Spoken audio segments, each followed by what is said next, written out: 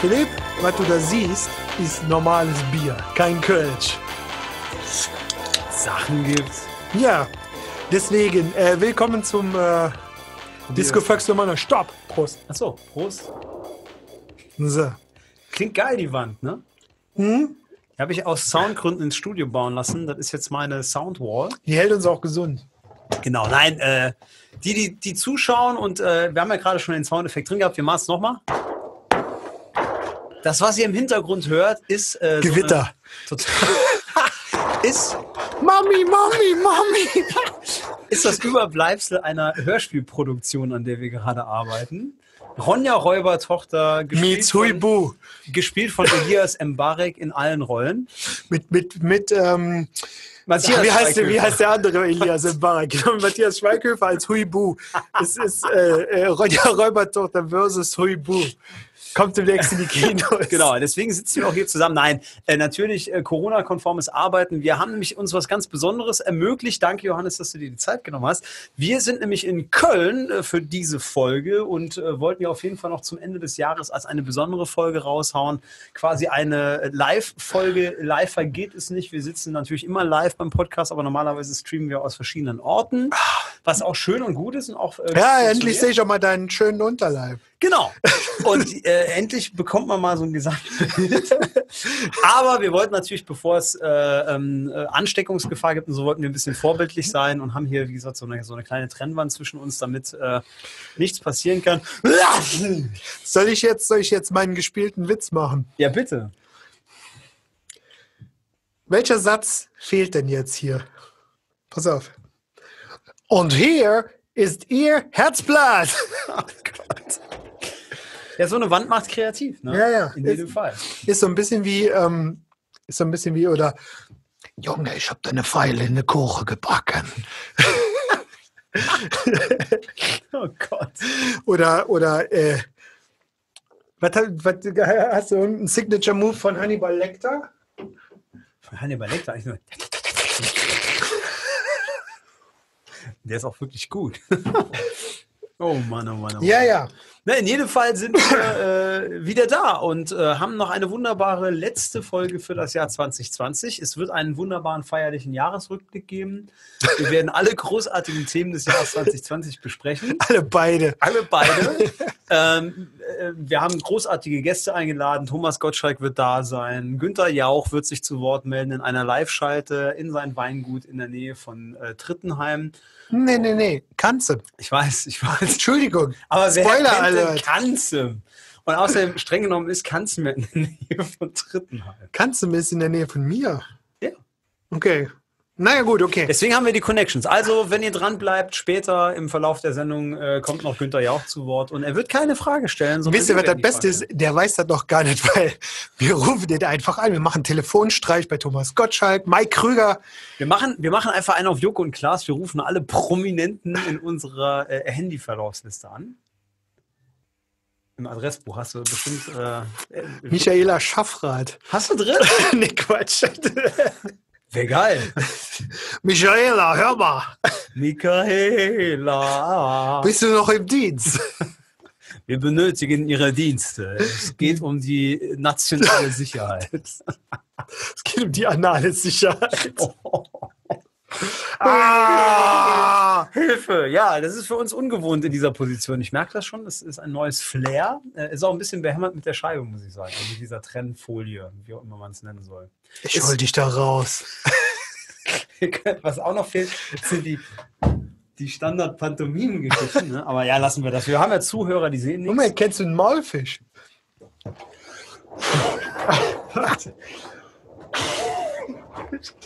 Scheiße, die ist nicht steif genug. Und sag jetzt nichts. Damit haben wir den, den Satz auch endlich in einer unserer Podcast-Folgen. Scheiße, nicht steif. So nennen wir die Folge heute. Genau. Folge 9, Scheiße, nicht steif genug. Genau, so haben wir das auf jeden Fall schon mal mit drin. Ja, ähm, natürlich müssen wir euch noch frohe Weihnachten wünschen. Ne? Wo wir schon mal beim Thema sind. Wo wir Ne? schon mal beim Thema Steifheit sind. Wie war die Weihnachtsbäckerei? Wie habt ihr Weihnachten erlebt mit zwei Haushalten und äh, 1,5 Personen auf maximal vier Quadratmetern? Also ich fand Weihnachten dieses Jahr super. Warum? Ja, meist jetzt so unter Druck gewesen, Leute zu treffen. Ja. Ich, Für äh, Leute mit Psychosen ist das total klasse. sag ich ja. Ich hasse Menschen. nee, wir haben uns gediegen betrunken Schön. im engsten Kreise. Okay. Mein äh, elfjähriger Sohn ist dann heimgefahren. nee, aber Ist aber eigentlich dem Land normal, oder? ja, genau, mit dem Traktor. Der Klein, der, man denkt immer, die Kinder am Land freuen sich über die Geschenke, aber eigentlich freuen die sich, wenn Heiligabend vorbei Dürfen sie fahren. nicht nach Hause fahren darf. Ne? Nee, wir haben ja eingeladen und wir haben äh, unser neues, wie nennt man das, unser neuen In-Drink, der wahrscheinlich äh, auf Ibiza schon längst wieder out ist, Ja. nämlich Limoncello, Sekt, Oh. Sprudel und Crash-Eis. Bis zur Vergasung getrunken, ist richtig geil. El Limoncello ist so ein Getränk, das trinkst du eigentlich nur beim Italiener, weil es geschenkt ist Nee, ich finde Limoncello gut. oder im Urlaub. Ja, aber es, also, Also Fingerbreit Limoncello, Sekt drauf von der Tanke. Nimm keinen guten, echt nicht. Aber halt Sekt drauf, Eis, Sprudel, geil. es hat auf jeden Fall Stil. Nimm keinen guten. Nee, für, ich nehme nie guten Sekt für so Zeug wie Aperol Spritz oder, oder keine Ahnung, macht ja keinen Sinn. Und ähm, ja, damit haben wir unseren Heiligabend, ähm, wie soll ich sagen, das Getränk haben wir ausgiebig erlebt. Okay. Und ersten Weihnachtsfeiertag, zweiten Weihnachtstag- Weihnachtsfeiertag hauptsächlich mit Bingen von DVDs verbracht, die ich Cool. zu Weihnachten bekommen habe. Ähm, ich bin ja ein ausgesprochener Fan von 80er Jahre äh, Fernsehserien. Streng genommen kann man eine DVD nicht bingen, Warum? weil die ja nicht durchläuft. Die hat ja ein Ende. Also ich habe Um jetzt mal die, die Jugendsprache hier so ein Gut, bisschen pass auf, zu- ich, ich, ich, roll, ich roll das mal auf. Bratan. Also ich habe im Moment bin ich am Bingen auf Achse. Oh. Das sind, also ich, ich verkneife mir jetzt den Plot, aber da sind acht Folgen A 50 Minuten auf einer DVD und das geht am Stück. Das kann ich. Gib mir genug Erdnüsse, kann, kann ich das. Was passiert denn so Spannendes bei Auf Achse? Du hast es da das gewollt. Ne? Also, Das möchte ich euch nicht vorenthalten, liebe Kinder. auf Achse erzählt die spannende Geschichte des LKW-Fahrers Franz Meerstonk, gespielt von Manfred Krug, zusammen mit seinem, mit seinem Kompagnon ähm, Günther Willers, gespielt von ähm, Typen, dessen Namen mir gerade entfallen ist, Ah, der. die als Fernfahrer ähm, die Welt entdecken. Also die fahren so Mittleren Osten und äh, ja, so deutsche Fernfahrerromantik mit viel, äh, da wird dem hier mal der Laster geklaut und da brennt mal was und äh, da überfahren sie ein Schaf und werden überfallen in der Türkei und Gedöns. Ja. Ziemlich, äh, ziemlich lustig. Ich habe heute, ich habe gerade, bevor ich hier hingefahren bin, noch eine Folge gesehen. Da hat Lisa Fitz als junge Frau da mitgespielt. Also ich muss dazu sagen, das fing wohl späte 70er an, die Serie. Ne? Ja. Lisa Fitz als junge Frau mitgespielt Ja, und hat, so hat 60er versucht und vielleicht hat versucht 50er. dem äh, dem äh, Manfred Krug den Laster zu klauen. Und er zerrt die halt aus dem Führerhaus und hat erstmal richtig eine reingezimmert. Also in den 80ern gab es doch Filme, da haben Frauen legitim von Männern in die Fresse gekriegt. Also das fand ich schon verstörend. Und das ist so ein bisschen mit der flachen Hand. Nee, mit Deswegen Recht. mit Recht.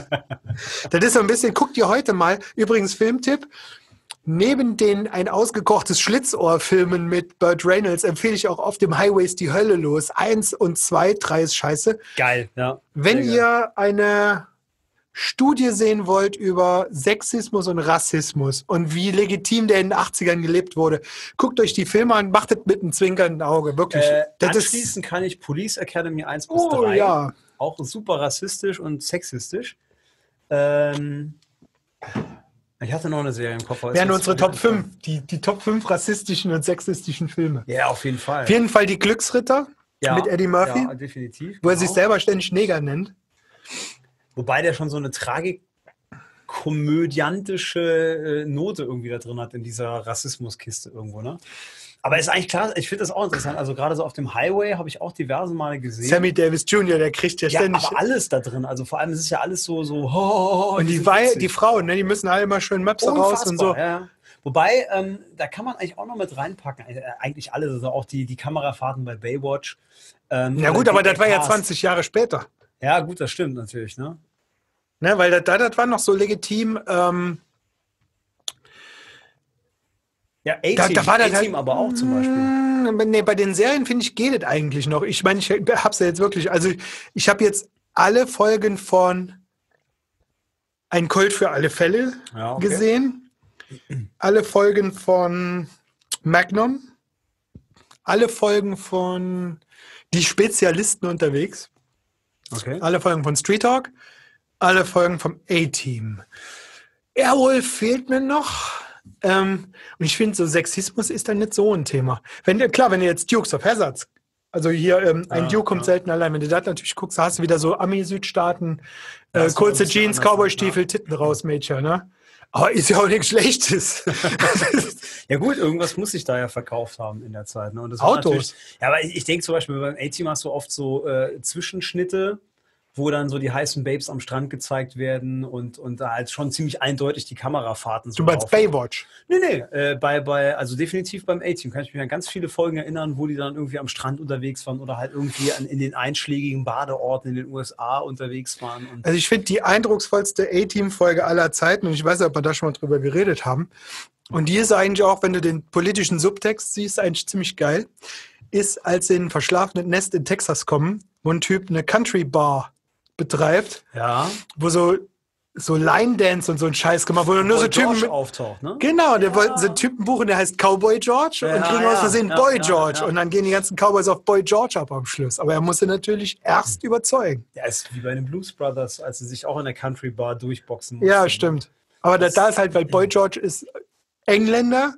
schwul, Ja, also super interessant auf jeden Fall. geschminkt. Also Ja. das, war halt noch eine Nummer härter. Aber auch wieder so ein Ding, in den 80ern war es ja auch super populär, generell so Musiker irgendwie in Filme einzubinden. Ne? Also die für einen Gastauftritt einzuladen. Rick James im A-Team, wo, der aus, wo der im Knast gespielt hat. Geil, ja. Rick, Rick. James, Hammer. ganz verdrängt. Und Hulk Hogan hat ja auch eine ganze Reihe von Folgen mitgespielt. Der kein Musiker ist, klar, aber der damals. Äh, Beim A-Team. ja.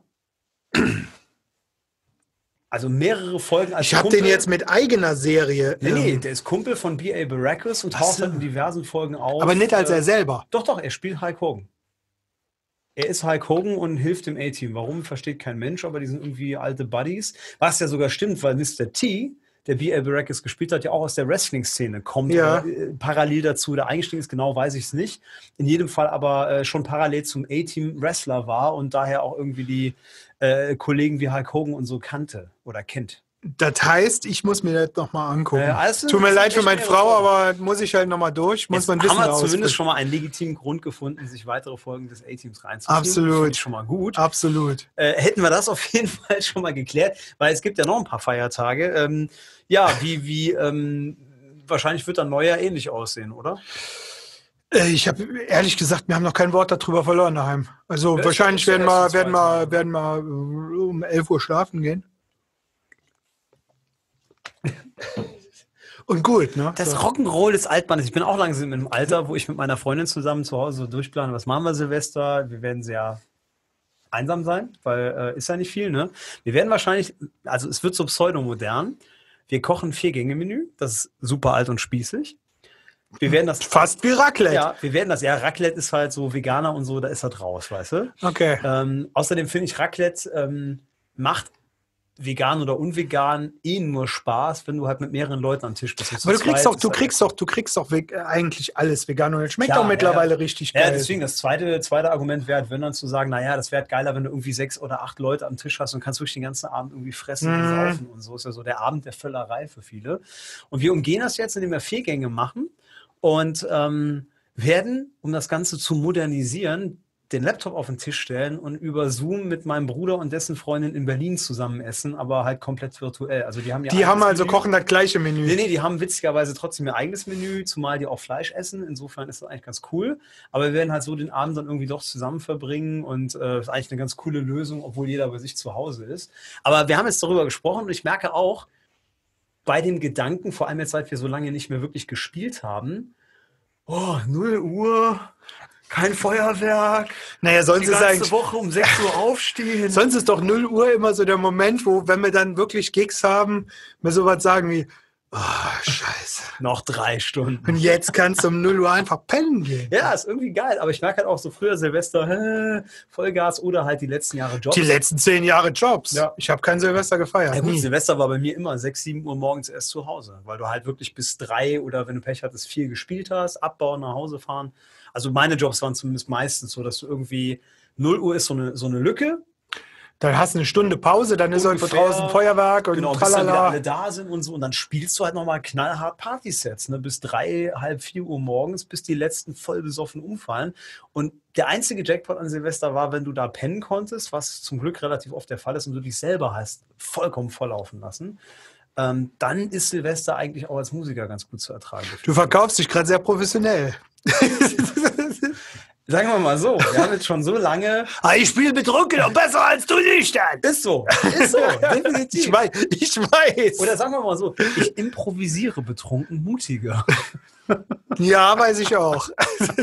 so, ich muss unbedingt was loswerden. Ich habe ähm, auf dem Weg hierhin Radio gehört und ähm, ich muss ein bisschen ausholen. Oh Gott. Warte, ich hol mir einen Drink. Einer, einer der äh, lokalen Radiosender bei uns, ich glaube, es war jetzt SWR 1, hat einen Spendenmarathon. Ist ja erstmal nichts Ungewöhnliches Nee. am Jahresende. Aber mir kam so eine Idee, über die muss ich jetzt schon lachen. Moment. Also pass auf. Hier ist die Idee. Hier Johannes ruft zu einem Organspendenmarathon. nee, auf. besser, pass auf. Pass auf. Dieser Spendenmarathon macht ja den Sender unfassbar verletzlich. Denn jetzt stell dir mal vor, ein Typ mit Geld und Humor. Ja. Weil die Idee war, du kannst den Song wünschen und spendest dafür was. Und dann wird Geld. ge- Diesmal haben sie für Herzenssache gesammelt und man versteht mich nicht falsch, finde ich alles saugeil. Ich habe Angst, wo das hingeht. Ich- ich glaube, ich weiß es schon. Ich für meinen Teil habe mir überlegt, wenn ich jetzt da anrufe und sage, hallo SWR 1, ich würde gern 100.000 Euro spenden für die Herzenssache und ich wünsche mir als Lied von Eisenpimmel Fotzenbibbelbahn. Da bringe ich den Sender in ein unfassbares Dilemma. Findest du nicht? Ich- also ich ja. würde mich jetzt mal die Frage, und das meine ich jetzt sehr ernst, wie weit gehen die? Wenn nicht, weißt du, wenn, also sagen wir mal anders, wenn du jetzt, wenn die sagen, nee, sowas spielen wir nicht, aus verständlichen Gründen,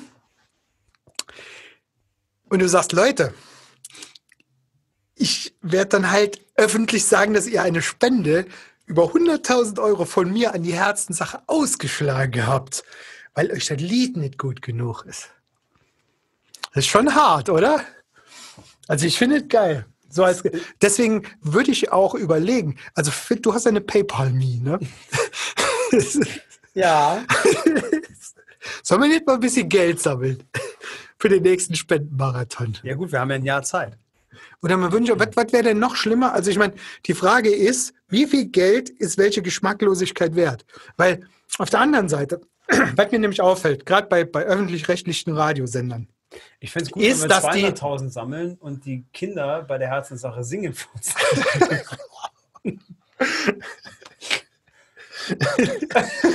es gibt halt zu Weihnachten gibt halt nichts zu essen sonst. nee, aber man, Das wäre richtig geschmacklos. Ja, nee, aber ich will auch gar nicht geschmacklos sein. Ich will das Dilemma erzeugen. Naja. Es geht um das Dilemma. Es ist aber geschmacklos. Ja, aber ja, aber wo endet das? Aber ich kann eine Frage beantworten. Pass auf, Okay. wie viel Geld? Ich glaube viel weniger. Weil, weil die Sache ist ja auch die, ich erlebe diese Spendenmarathons, ich höre mir die auch, also ich höre halt Radio. Und dann denke ich immer so, ah, dann verkauft ihr so ein, so ein Radiosender und dann sind ja immer die jungen Formatradiosender, sondern die so ein bisschen gesetzteren, so SWR und Konsorten, ne? Verkauft, und jetzt kommt ein Hammer, ewig nicht gehört, ein super Klassiker, Überraschung total. Hier sind die Rolling Stones mit Sympathy for the Devil. Und ich denke so, ah.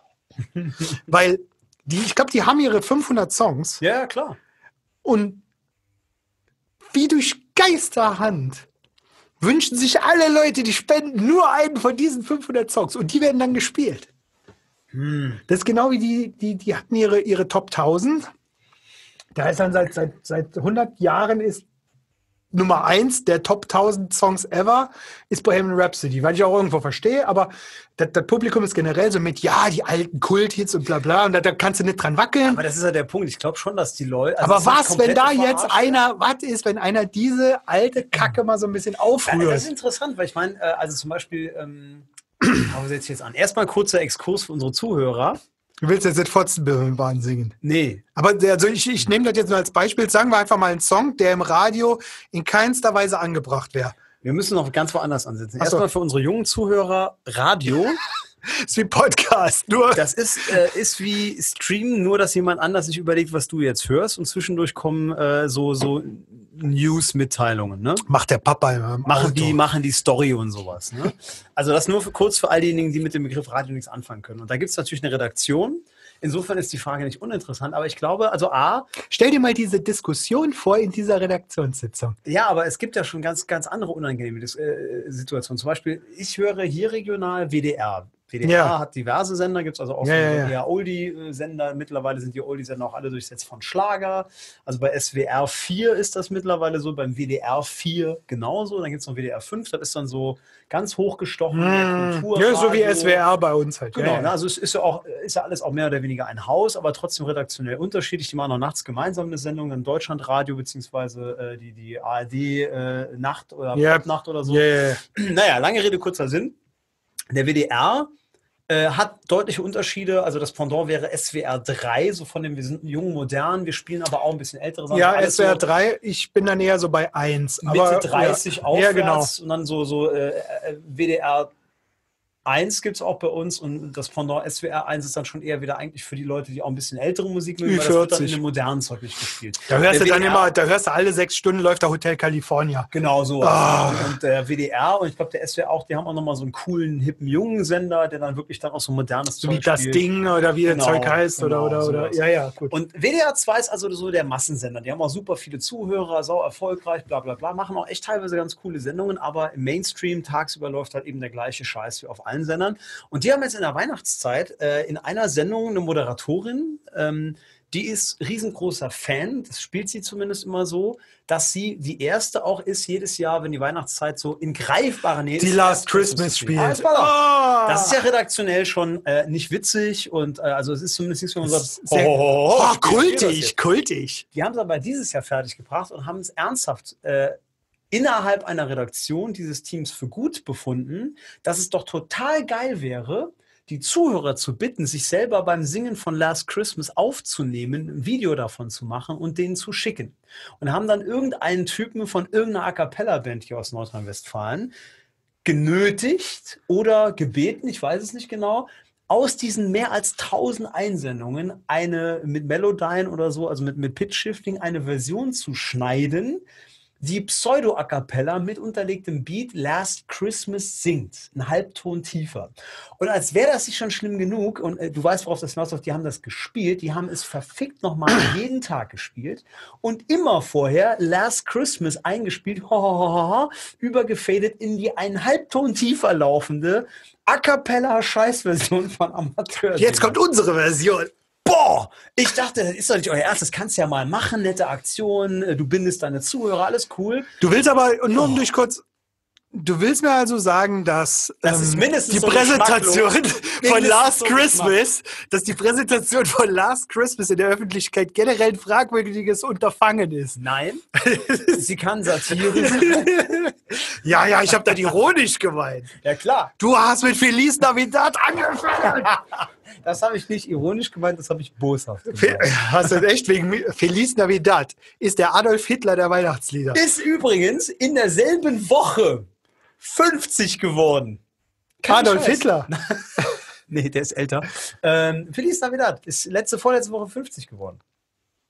Klingt wie so ein Diktator in Südamerika. Und José Feliciano, es äh, war ein Bericht, den hat mein Bruder mir zukommen lassen, äh, in der New Yorker, ähm, eben zum Anlass des 50. Geburtstags dieses wunderbaren Songs, haben die José Feliciano besucht, der lebt noch und äh, mit ihm gesprochen und er hat nochmal die Geschichte zu Und die ist bestimmt total interessant. Ja, er sagte, ja, es sind zwei Minuten eingefallen und wer hätte gedacht, dass das Ding so erfolgreich ist. Aber wohnt halt in einer dicken Villa äh, und ja, dem geht's ganz gut.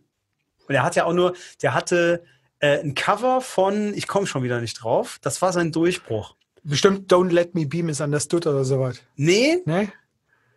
ah, ich komme nicht drauf. Schlimmer Song. Nee, wir haben das sogar damals mit Sound of Silence gespielt, mit der Unplugged-Band. Ähm, Cat ich Stevens. kann mich genau erinnern. Nee, aber irgend sowas in die Richtung. So, Don't Let Me Be Misunderstood ist gar nicht so schlecht. Irgend so eine Nummer aus dem Dunstkreis. Das war sein Durchbruch. Ähm, nee, es ist richtig schlimm. The Doors. Auf Spanisch. Ja, so, so spanisch angehaucht. Äh, Light My Fire gibt es eine Version von José Feliciano. Das war sein Durchbruch. Stand nochmal im New Yorker. Light My Fire. Come on, baby, light my fire.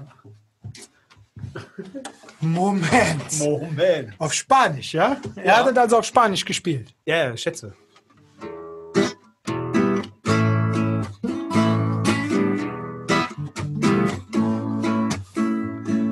Donde ist. Ne, warte. Aha. Scheiße, ich kann kein, ich kann kein phonetisches Spanisch, fällt mir gerade ein. Das ist ja immer ganz einfach. Was, was, was? Hacienda, señor Paracetamol. Hacienda, señor paracetamol. ¿Y dónde está el pecho? Hacienda, señor paracetamol. ¿De dónde está el pecho?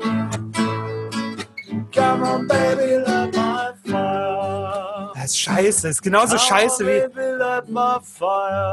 Genauso scheiße wie Feliz. Try to set the night on fire. Dann Genauso scheiße wie Feliz. Navidad. Oh Gott. Irgend so ein. Ja, war, war schön. Also das war auf jeden Fall sein Durchbruch und äh, Und Jim Morrison hat im Grab gekotzt. ja, klar, wie die meisten. Aber gut, das gilt ja auch für andere. Also ich glaube auch, dass George Michael gekotzt hat, als er diesen Amateurchor hören musste. Ich muss ja gerade, äh, habe ich ja nicht getwittert, als der Wendler seine Musik Popschlager genannt hat. nee, wir haben aber Da drüber gesprochen. haben George Michael und Udo Jürgens gleichzeitig im Grab gekotzt. Ja. Und womit? Und haben sich geprügelt, wer schlimmer beleidigt wurde. Definitiv. Ist auch eine interessante Frage, wer schlimmer beleidigt wurde. Ich glaube, der. Ja, oh, ist echt eine spannende Frage. Na, wir reden schon wieder über den Wendler, habe ich eigentlich gar keinen Bock zu. Nee, wir reden über Pop und Schlager und äh, was beleidigender für beide Genres ist. Das ist auch wieder wahr. Ich glaube, Pop hat.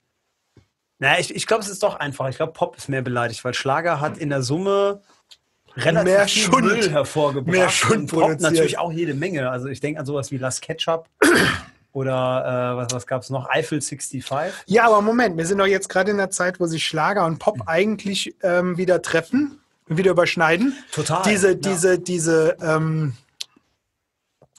verstehe mich jetzt nicht falsch. Die Typen mit den Akustikgitarren. nee, aber Ich krieg's du, heute du weißt, was ich irgendwie, meine, ne? So die Tim Benskos und die ähm, Die Clouseaus die und die. Und so, ne?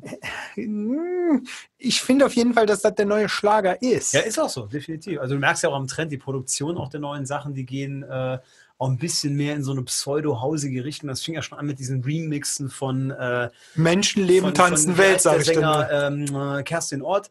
Und ähm, Ja, stimmt, der zieht Ja, LKWs auf DSF. Regenbogen fahren ist so eine Nummer, die eigentlich auch eine Popnummer von Max Giesinger oder so sein könnte, wenn du den Text ein bisschen änderst. Also Regenbogen ist kein Wort, das ein Popsänger benutzen würde im Deutschen. Aber der Beat, das Tempo, die Art, wie die Melodie geführt wird, ist jetzt kein. Wo wir schon so richtig am. Ablästern sind, ich glaube, so das Schlimmste für mich im Moment, also für mich war eigentlich das Schlimmste lang Rosenstolz und Unheilig. Ja. Die sind aber zum Glück beide Rosenstolz Finde ich tot. schon, finde ich schon. Und José lebt noch. Aber was richtig schlimm ist, was so richtig, ähm, also was mich als Zuhörer so beleidigt, dass ich aggressiv werde, wenn ich hören muss. Und jedes Mal, wenn, und wir haben es oft gespielt, Nee, du kommst drauf, schade. du kommst drauf. Nee. Wir haben es oft gespielt und jedes Mal muss ich mich zusammenreißen, ob der hanebüchenen Scheiße, die ich da zu reproduzieren genötigt werde. Meine Hassband 2020, um mal so anzufangen, Oh je, ich bin gespannt. ist Glasperlenspiel. Okay. Aha. Glasperlenspiel finde ich ganz schlimm. Abgesehen davon ist das wahrscheinlich die weißeste Musik, die du machen kannst. Und wenn du, wenn du, wenn du hörst, wie die Alte die Texte phrasiert und wie die die äh, E's auskotzt und so. Glasperlenspiel ist was. Ist aber auch. Was so- Ekelfaktor betrifft, noch vor Silbermond. Ist aber, ist aber auch kein, ist aber auch definitiv kein, kein Schlager. Es ist halt auch nicht Pop. Doch. Glasballenspiel ist für mich Schlager.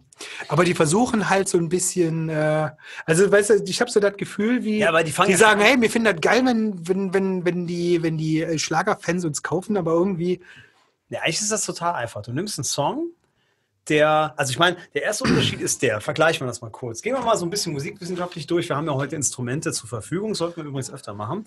Nehmen wir mal so einen Song wie.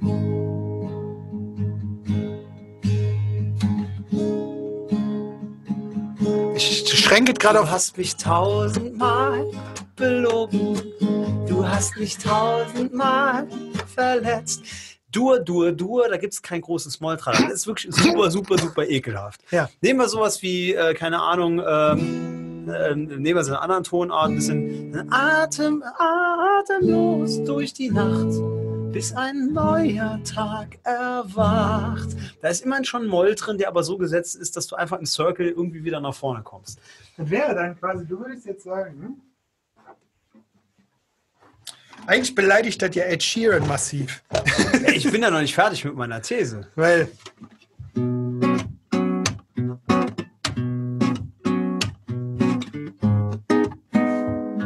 Ja. Wir gehen durch die Straßen, die Clubs dieser Stadt. Da, da, da, da, da, Aber das würde Ed Sheeran nicht machen. Nee, weil er das spielen kann. Doch, aber das ist einfach so eine Gefühlssache. Und ich finde, bei Glasbandspiel ist zumindest der, der, der Grundunterschied von den Chords ist schon ein bisschen Rock'n'Roll. Ja, weil die in den 90ern geboren sind wahrscheinlich so. Ja, aber das ist doch ein wichtiger Unterschied. Die, Nee. Sätze ist nicht so ekelhaft wie andere, dafür ist der Text halt kacke. Du, pass auf, das ist ganz einfach. Das ist ganz einfach. Du, nimm mal den Vergleich zum Kochen. Ja. Im Restaurant Glasperlenspiel wird der beste Hummer der ganzen Nordsee angeliefert, um dann im beschissensten Eintopf der ganzen Stadt verschissen zu werden. Das heißt, du kannst doch nicht die Qualität der Rohzutaten äh, der Band in die Schuhe schieben. Doch, weil die Auswahl ist ja zumindest schon mal ein Anfang. Ah. Ja gut, aber bei Andrea Berg und bei allen Songs von Andrea Berg, Moment, denke aber- an das Andrea Berg Hitmix Medley. Boah. Das geht sechs Minuten so weiter. Aber- und jeder Song dieser Dame basiert auf denselben Grundzutaten. Das wäre nämlich ungefähr so, wie wenn der Currywurstbudenbesitzer, der zehn Jahre Erfolg hatte, danach ein Restaurant aufmacht und macht Currywurst-Variationen Mit immer Blattgold. denselben Geschichten. Das ist ein großer Unterschied. Aber also, weil jemand keine Mollakkorde benutzt, heißt das doch nicht, dass das scheiße Es geht ja ist. nicht um Mollakkorde. Es geht alleine darum, dass Denk du mal an die Ramones. Ja, aber die beginnen zum Beispiel auf einer anderen Stufe. So, das ist schon mal, finde ich, ein Fortschritt. Helene Fischer, atemlos, eins. Ja, okay. Andrea Berg, alles auf der Eins. Außer du hast Glück und sie fängt ausnahmsweise auf der vier an, um dann ganz schnell wieder auf die Eins zu gehen. Ja, aber dann ist auch unser, unser, unser äh, Broterwerb ist doch, dass wir, dadurch, dass die Songs so einfach sind, sie auch direkt spielen können. wir müssen sie halt nie rum. Wir als bitte, Hyundai ist liebe Schlagersänger, bitte überrascht uns nie mit irgendwas Wildem, wie zum Beispiel auf einer anderen Stufe anfangen. Ja, aber um jetzt mal wirklich- müssten wir eure Songs proben. Aber um jetzt mal wirklich ganz transparent zu sein, ähm, wenn ich dann zum Beispiel das mit dem pur Party-Hitmix vergleiche, der ist viel schwerer, mal einfach so zu spielen, weil der halt wirklich komplexer ist. Da sind auch wirklich mal zumindest Akkorde drin, wo du zum Beispiel nicht weißt, Ja. spielen jetzt die, die äh, Parallele in Moll oder sowas. Also das ist schon ein bisschen komplexer irgendwo. Oder so eine Nummer wie Abenteuerland. Du spielst aber nicht einfach so. was. Ja, aber pur ist so speziell, weißt du? Pur ist so Klar. wie, äh, pur ist so wie. Du hast halt diesen geilen Eintopf mit diesem geilen Hummer Ja. und dann läuft die Küchenhilfe namens Engler vorbei Mhm. und macht. Es sind aber nur Zutaten. Also nehmen wir mal, nehmen wir mal das beste Beispiel. Kann alles sein. So, jetzt ist der Hauptunterschied der, wir haben jetzt hier einen Mann, der singt Sie ist die eine, die immer lacht. die immer lacht, die immer lacht, die immer lacht. So, schlechter Text, Wortwiederholung, ist aber nichts anderes bei einem, bei Nico Santos. Der singt die Scheiße auf Englisch. Hello, hello, hello. Immer die gleichen Worte. Alle Songs von Nico Santos haben im Refrain maximal fünf Worte. Andere Sänger sind noch schlimmer, die haben nur ein Oh, wow oder sowas drin. Aber zum Beispiel, wenn du denselben Song nimmst, machst du jetzt so, auf das Kinderton hat. Sie ist die eine, die immer lacht. Die, wo immer die lacht. immer lacht, die immer lacht, die immer lacht. Max Giesinger Nummer. Du musst es einfach nur mit derselben Scheiße in einem anderen Habitus singen. Die Ja, das ist nicht sauber das ist- singen, das die ist ist, nicht sauber singen. Zack, fertig ist der Pop-Singer-Songwriter. That's easy. Ja, das ja, sage ich ja, das ist ja der neue Schlager. Ja, die Nähe ist auf jeden Fall da. Wie gesagt, ein bisschen andere Wortwahl, wobei ich. Finde, ich, die ich aber ein bisschen verlogen an der Nummer finde, ist, dass ähm, bei der Text, beim Texteschreiben oft so getan wird, als sei man ein ähm, reflektiertes Kerlchen, was Ja, so nachdenklich ja, daherkommt und so weiter. Aber äh, das ist ja wirklich gehaltlos. Ja, wobei du kommst ja heute auch schnell in die Verlegenheit. Also wenn du jetzt einen Text schreibst, der einfach irgendwie sich für dich okay anfühlt und ich meine, das ist ja auch die Frage, wenn du schreibst heute, ab wann, also äh, nee, es, man kann noch weiter zurückgehen. Die Frage ist ja, biederst du dich an oder wird es als anbiedernd interpretiert? Weil manche Leute schreiben einfach so, andere schreiben, weil sie einen bestimmten Effekt erzielen wollen, zum Beispiel Erfolg oder ähm, Manche kopieren auch einfach nur, weil denen selber nichts anderes einfällt und übernehmen in diesem Genre bestimmte Gepflogenheiten. Also ich finde schon, dass es so Keywords in jedem Genre gibt. Ähm, Produzent, Ja. dem ich mal gearbeitet habe, der hat gesagt, der, der macht halt Schlager und macht Punk. Also so, so, so easy, nichts nichts Geiles, sondern so, so, so, so sich verkaufender Punk, der irgendwie bei Sony vertickt wird. So Betontod heißt die Band. Ist- Okay. Muss, muss man nicht kennen, verkaufen aber echt ganz viel Platten und so. Gut. Und der textet für die gleiche Band. Und ich habe ihn dann gefragt, sag mal, wie kriegst du das unter einen Hut? Und der hat den schönen Satz gesagt, hey, ganz ehrlich, die Parameter sind dieselben, du baust einfach ab und zu Dosenbier ein. Das ist natürlich super ja, überzeichnet ja. und natürlich sind die Texte nicht dauernd voller Dosen. Ja, ja, ich er verstehe. Manowar baust du immer äh, Sword, äh, Fly, Eagle Ja. und Zeug ein und Ja, schon easy. klar. Ja, easy. aber, aber das ist nicht die, das ist aber nicht der Gehalt. Ich glaube, Nee. dass wenn du, wenn du in der musikalischen, in einem Genre oder in einer, in einer von mir aus auch in einer äh, sozialen Gruppe groß wirst und sozialisiert wirst, dass du dir diese Keywords automatisch aneignest. Auf jeden Fall. Und ja. in dem Moment ähm, ist noch gar kein Gehalt geschaffen. Ich kann- Sondern das wenn kann- du, das wenn kann du das produzierst, wenn du das schreibst, was aus dir rauskommt und das auch ungefiltert weitergibst, dann sagt das Erfolgsbarometer wahrscheinlich, mm, Ja. weil du nämlich, sag jetzt mal einfach, 5000 Worte Songtext auf die Leute ballerst und davon mit Glück fünf Worte sind das blinde das dann das Korn findet, wo du dann halt was mit verdienst. Ja, ähm, Aber das ist der ehrliche Weg. ja, aber du kannst auch umgekehrt argumentieren. Wenn ich zum Beispiel versuche, einen Schlagertext zu schreiben, gelingt mir das nicht.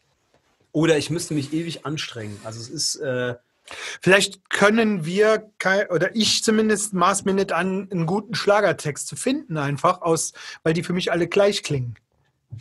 Ja, wobei, das ist jetzt auch wieder schwierig. Also zum Beispiel Udo Jürgens, der, wie ich finde, schon irgendwie ein geiler Texter war.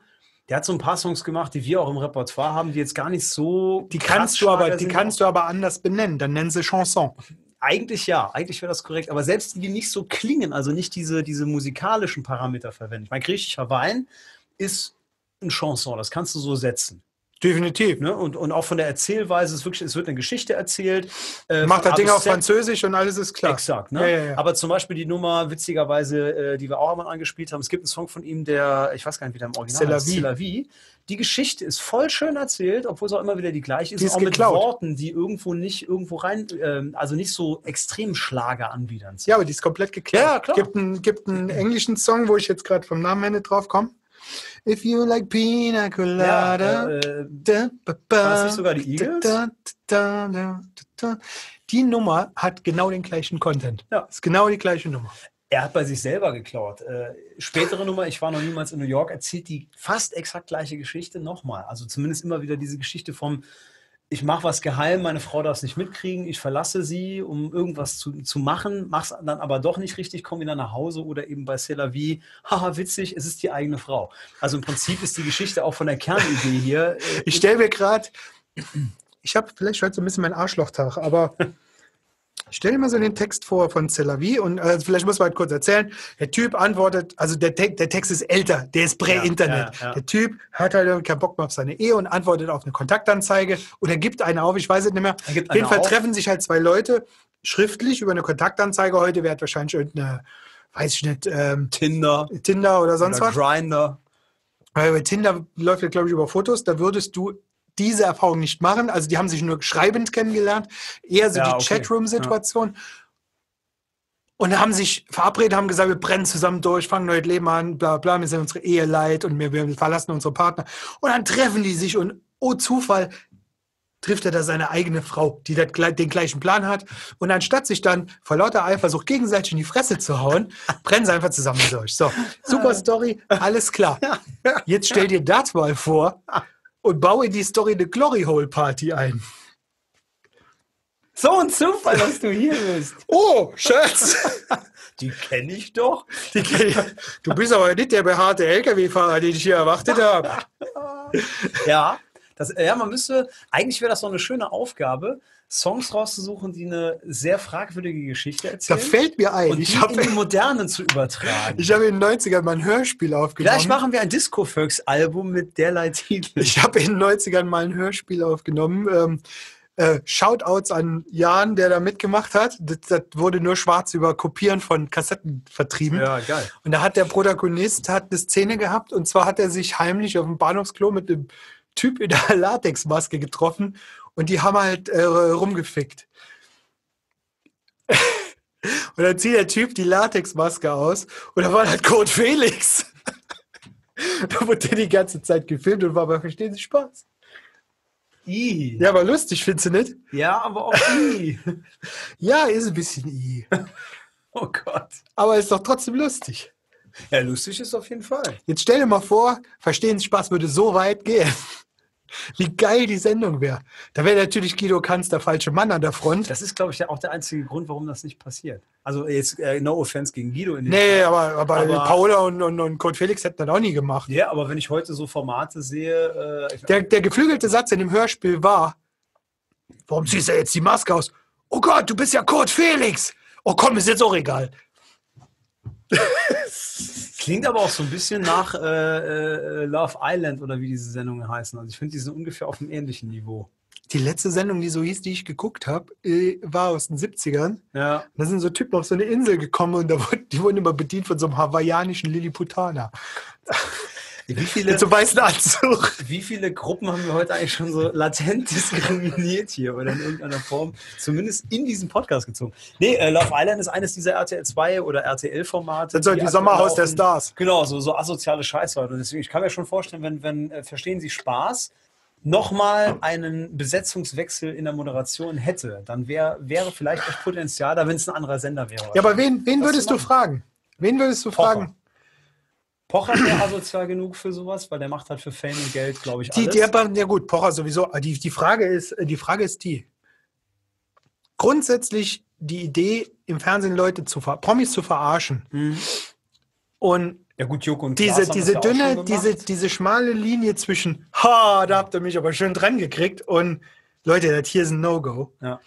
Diese schmale Linie zu finden. Und die ist meiner Meinung nach immer viel zu weit Richtung, ha, ha, ha, da habt ihr mich aber schön erwischt. Bin ich völlig bei dir. So, aber ich, aber ich und glaube, wer, welcher. Moderator und welcher Kopf von Verstehen Sie Spaß könnte das denn schaffen? Ich meine, Harald Schmidt hat es nicht geschafft. Nee. Aber das waren immer noch andere Zeiten. Ich glaube, dass das heute auch durch, durch Social Media Stars und so, ich meine, schau mal, äh, ich habe letzt rumgesäppt und ähm, wie heißt die Kacksendung? Ähm, oh, Liebe Grüße. Äh, Supertalent reingeschaltet. Wird er So. nicht da hinten aufgenommen? Ja, ja, irgendwo hier in der Nähe. Auf jeden Fall Supertalent, ist klar. Bohlen Ja. Äh, kann man, streitbarer Typ, aber er hat auf jeden Fall seine Daseinsberechtigung in irgendeiner Jury. Bohlen finde ich irgendwie schon cool. Ja, ja, auf jeden Fall. So, er sitzt daneben, so eine Blonde. Ich musste erst mal googeln, wer die ist. Weil es halt nicht immer noch Michelle Hunziker. Nee, eben nicht, sondern da, da saß jetzt irgendeine so eine Frau, die richtig dumm ist, die richtig gemacht aussieht, Und wie heißt die? der so halb, ich habe schon wieder vergessen, der halb die, die Möpse rausfallen, so ganz, ganz Gut, schlimm. immerhin. Und die war wohl in irgendeiner Sendung, Bachelor, Ah, okay. äh, hat einen Insta-Channel von, äh, also ganz, ganz viele Follower, super einflussreich dadurch. Und die sitzt jetzt in so einer Jury. Das heißt, völlig talentfrei. Aber bereit, alles Echte. Talente auch zu bewerten, das ist ja schon Nee, anmaßend. auch einfach Show zu machen. In der Sendung geht es ja auch, wie bei fast allen anderen Sendungen, gar nicht mehr unbedingt darum, was da auf der Bühne passiert. Also ob der Hund jetzt wirklich durch drei brennende Reifen springt und danach das Alphabet rülpst, ist völlig egal. Kannst dich an die Frau erinnern, die mit ihren Titten die Melonen und die Bierdosen kaputtgeschlagen Ich habe hat? das so gut wie es geht vermieden zu gucken. Oh, ey. das war eine geile Folge. Ja, aber weißt du, dann sind wenigstens so Sachen, die hängen bleiben. Und heute geht es irgendwie darum, bei jedem Kandidaten ist irgendwas special mit, dem, mit dieser Jury. Vier Leute sitzen da und dann muss einer auf die Bühne, der muss dann da was machen oder, oh Wunder, auf einmal kann der was ganz Tolles und sowas ähnliches. der Gottschalk, der, hat, da- der Oh. war ja da völlig deplatziert. Ne? ja, ja. kann man mit dem Bullen, glaube ich, nicht Habe ich, glaube ich, auch nicht wirklich gesehen. Aber Gottschalk ist noch so die alte Schule. Der hat halt wirklich, der war Gastgeber. Also der hat seine Gäste glänzen lassen und hat sich nicht dauernd in den Vordergrund gespielt. Das ist interessant. Ich habe äh, ich hab ein Interview mit ihm gehört, beziehungsweise das war, glaube ich, in der, in der Jubiläumsfolge von Baywatch Berlin. Da war Gottschalk als Gast. Ach cool. Hm? Das war ziemlich gut. Da hat er äh, auch, weil ich bin absolut kein Fan, hat er sich aber super geil verkauft und hat auch gesagt, ähm, dass ähm, man sich nicht, also es ging wohl um die Story, wer mehr Liegestützen schafft und Gottschalk hätte, äh, hat halt gesagt, äh, wenn mein Gast weniger Liegestützen als ich schafft, dann würde ich so tun, als würde ich weniger schaffen. Ja. Und der Lanz, da muss es eine Situation gegeben haben, wo der Lanz versucht hat, den Gast echt zu besiegen. Ja. Und das ist ja dann schon so ein bisschen scheiße halt. Ja, aber das finde ich zum Beispiel ein ganz gutes Beispiel. Ich mag den Lanz null. Also das ist für Nee. mich ein ganz schrecklicher Moderator, der dann irgendwo, der Liebe hat Grüße. ja, Prop, Props Auto Markus, äh, der hat auch irgendwie da keine Hemmungen und hat auch seine, seine Position oder seine, seine Rolle nicht so gefunden, zu sagen, bin ich jetzt Gastgeber, will ich in, investigativ sein? Dann wird er so ein bisschen wie Michel Friedmann, der auch mal so eine ganz bittere Talkshow hatte, früher mit immer nur einem Gast, mit so einem Sofa, das äh, so aufgestellt war, dass die sich quasi ins Gesicht gucken konnten. Michel Friedmann ist Boah. für mich eins der größten Ekelpakete, die Ja, äh, ich habe ich hab das da Deutschland jung. Fuß auf die Straße gesetzt hat. Boah, da war ich noch relativ jung und habe das irgendwann mal im, im späten Fernsehen gesehen und der war so aggressiv und hat seinen Gast so auseinandergenommen. Das war mir super unangenehm. Und äh, keine Ahnung, also dagegen war ein, ein Raab, der irgendwie die Leute verarscht hat oder auch ein Harald Schmidt. Das war aber ein der so anderes Dinge- Niveau. Ganz anderes Niveau. Und ich glaube, die Gäste wussten das dann ja auch relativ bald. Ey, wenn du da hingehst, dann musst du damit rechnen, durch den Kakao. Dass er mit der. Ukulele über dein Schamhaare singt oder sonst Sowas, was. genau. Ja. Das ist ja bei Verstehen Sie Spaß halt ähnlich. Ne? Du weißt halt, okay, du wirst dann da verulgt und man weiß ja auch nicht so genau. ja, aber der Unterschied ist der bei Verstehen Sie Spaß. Du wirst erstmal verulgt. Ja, Dann wirst du gefragt, ob das okay ist, wenn sie da zeigen und ob du in die Sendung gehst. ja. Bei Raab war es so, okay, ich muss zu Raab Genau. in die Sendung, weil ich will ja mein neues Buch, mein neues Album promoten. Also muss ich damit rechnen, dass der mich live so ein bisschen verarscht. Aber- das sind ja zwei verschiedene Ja, aber Baustellen. die Basis des Deals ist dieselbe. Fame, Raab weiß Fame du, für so ein bisschen Scheiße, Würde. ich muss Promo machen und der hat halt die und die Ja, Art. Okay, ich gehe aber hin. Und bei Verstehen Sie Spaß glaube ich, dass sich das ändert. Früher hätte vielleicht der eine oder andere Promi dann gesagt, ey, das war zu krass oder wie auch immer. Aber die wissen ja auch alle, dass die das brauchen und heute umso mehr, weil immer mehr Leute da sind. Das ist ja das, worauf ich so ein bisschen hinaus will, weil in der Jury von äh, fucking Superstar irgendein Tittenmäuschen sitzt, die auf einmal irgendwo hergekommen ist und Aber, Mensch weiß, aber das würde ist. ja heißen, du würdest sagen, äh, verstehen Sie Spaß, ist ein Fernsehformat mit Zukunft. Ähnlich wie Wetten das, Wenn die- meiner Meinung nach auch ein Fernsehformat mit Zukunft ist, was aber in einem großen Teil vom Supertalent geschluckt wurde. Ja, äh, wenn, wenn, die, wenn die in der Dramaturgie es schaffen, extremer zu werden, würden die es schaffen, auch Zuschauer zu halten. Bin ich fest Du meinst, wie Joko und Klaas jetzt mit dieser Tag-Team, äh, mit dieser Team-Edition von diesem Duell um die Welt machen? Joko und Klaas ist bestes Beispiel. Der Fame, den die bei ProSieben haben, ist, dass die das Publikum, äh, also das jüngere Publikum zu ProSieben geholt haben, weil die im Prinzip so ein bisschen Jackass für Arme gemacht haben. Also diese ganze Duell um die Welt Nummer ist da schon so ein bisschen. Fand ich, nee, nee, nee, nee, nee, oh, sehe ich, aber, sehe ich aber anders. Nee? Überhaupt nicht. Weil ähm, Jackass ist für Arme. Ja, ja, gut. Jackass sind professionelle Stuntmen, Ja. die das, was sie gelernt haben, einfach nur völlig hirnlos nutzen, um damit kurze Lacher zu erzeugen. Das ist zusammenhanglos, das ist eine Aneinanderreihung von dummen Stunts. Jackass war noch nie lustig. Bei Jackass geht der Vater, der dicke Vater von einem der Protagonisten auf Klo und die, während der am Kacken ist, überraschen die den, indem sie reinspringen und dem plötzlich aufs Maul hauen. Ja. So, das ist Jackass. Und das war super nicht lustig. Nee, finde ich, find ich überhaupt nicht lustig.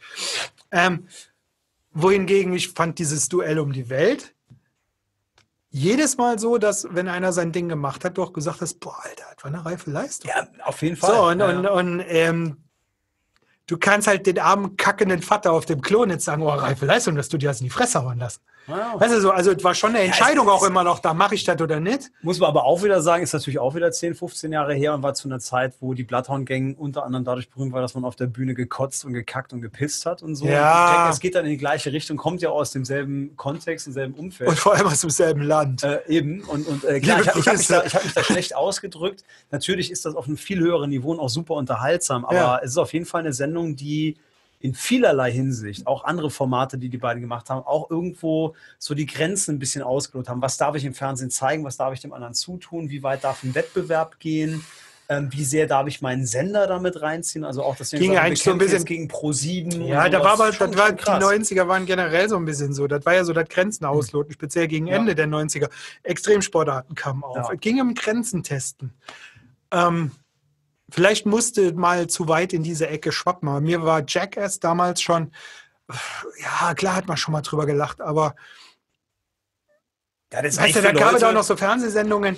Klar, da war auch noch Prä- Prä-YouTube, Ja. äh, die lustigsten Heimvideos der Welt. Wollte ich gerade Wo sagen. irgendeiner mit, dem- mit, dem, äh, sein Kind filmt, das mit dem Fahrrad gegen eine Wand fährt. Ja, es geht genau darum. Du bedienst halt damit die Leute, die äh, Bedienst vor allem den- finden. Ja, jeder findet das witzig. Da kann, Nee. dem kannst du dich nicht entziehen. Aber es bedient halt die niedrigsten Instinkte Ja, des genau. Humors. Ja, das, das ist Also einer fällt ja. auf die Fresse, ist immer lustig. Ich, was ich, wo ich nicht drüber lachen kann, ist, ähm, wenn du das so inszenierst. Das ist Mhm. halt, und da, da hört halt bei Jackass bei mir aus. Ich habe eine gute Szene bei Jackass gesehen, wo ich gesagt habe, ja, da war jetzt ein bisschen, das hatte so ein bisschen was. Und zwar ging es darum, das war, noch, das war noch nicht mal irgendein Stunt, sondern die haben halt quasi eine Mutter gezeigt, die ein Kind wickelt und dann die volle Windel in eine Mülltonne steckt. War halt eine Statistin oder was. Dann kam einer von den Jackass-Typen und hat jeden gefragt, ob er Geld für Essen hat. Und als ihm keiner was gegeben hat, hat er die volle Windel gefressen, wo halt natürlich Schokoladenpudding oder sowas drin war. So, ähm, ich, ich, ich möchte aber eigentlich der Jackass-Crew in dieser Folge noch nicht mal zumessen, dass sie sich vorher Gedanken über die Metabotschaft gemacht haben, die sie da gesendet haben. Nee. Sondern die finden einfach nur lustig, dass ein Penner Scheiße frisst. Ja, ich glaube, da war auch, war auch nie ein Skript oder so dahinter. Das ist ganz Joko und schlechtes Klaas, Fernsehen. Da ist natürlich schon richtig äh, redaktionelle Arbeit dahinter. ist Richtig Na ja gut, es ist ja auch, ist auch interessant zu sehen, wie halt, äh, sagen wir mal, die Bereiche zwischen vor und hinter der Bühne verschwimmen. Ja. Wie, die, wie die Crew immer mehr mit vor die Kamera gezerrt wird, Persönlichkeiten entwickelt und so weiter. Und das ist auch schön, das ist auch gut. Und du merkst da halt auch, finde ich, was passiert, wenn Leute lang gut zusammenarbeiten. Vor allem Mhm. lang. Also wenn die zusammen was aufbauen. Und das ist halt, ist halt eine gute, also deswegen, Ja, das stimmt. Das, äh, ich meine, klar, die haben natürlich auch zusammen äh, ganz woanders angefangen. Das ist natürlich auch Ja, zusammen, die sind auch zusammen, sind die halt äh, mehr oder weniger äh, durch die ganzen Sender gereist. Ja. Und zwar vor wie hinter der Kamera, nicht nur die beiden. Ja, ja, klar. dann merkst du halt, feststehendes Team. Du siehst, und, du äh, siehst, wenn du die alte Clips anguckst, ach guck mal, der Typ, der war auch schon dabei damals und der äh, Kameramann, der Redakteur und so weiter. Und die werden ja mittlerweile auch gefeatured, mhm. weil sich auch gezeigt hat, dass die halt einen Unterhaltungswert haben. Und das macht, das macht für mich Sinn. Ne? Aber ähm, Ja, bei klar, Jackass, das war mir alles zu amerikanisch. Das war mir zu, zu auf die Fresse. Ja, ich fand es auch nie jetzt irgendwie gut. Es war halt sowas, das hast du dir drei, vier, fünf äh, Szenen Es war halt angeguckt. spektakulär und nicht mehr. Ja, ja, es war, war einfach so, bei der Bloodhound ging ja genauso. Musikalisch war das nichts Dolles. Ich fand die, die Platten, äh, die haben gerockt. Ja, ja, aber irgendwann dann auch nicht mehr. Achtelketten und gib äh, ihm, ne? Ey, die waren schon auf die Along Comes Mary geile super Nummer. Ja, Hab definitiv. ich immer gern gespielt Ja. live. Ja, die, die haben tierisch Bock gemacht. Das war generell bei, in der Zeit ganz schön. Aber die Nummer auf der Bühne war halt dann faszinierend, ne? weil man einfach dachte, wow, krass, wer macht das? Übel. Ah, kannst du dich noch an Rock Bitch erinnern? Die, die haben gefickt, die haben äh, immer goldene Kondome in die, oh Gott, ja. in ja. die äh, und dann gab es Nashville, haben Nashville Pussy nicht auch irgendwas? Ich weiß es nicht mehr.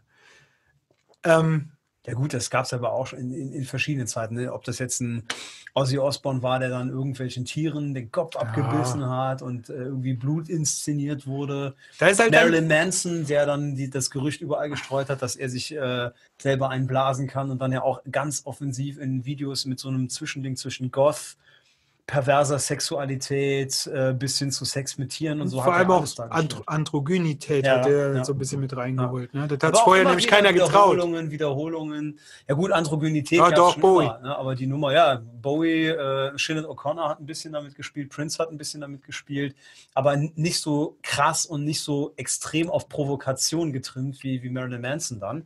Wobei das zum Beispiel auch musikalisch gibt Leute, die finden es total geil. Ich finde auch ein paar Sachen interessant. Ich finde, Äh, ich finde, äh, okay. Ja, eben. Tut mir nicht weh, es ist jetzt kein macht mich überhaupt nicht weltbewegendes- an. Nee. ist kein weltbewegendes musikalisches Hors d'oeuvre, das der da kreiert, aber Nee. es war halt irgendwie so, oh krass, was machen die da? Wieso, wieso trauen die sich das? Und natürlich nicht zu vergessen, die Kelly Family.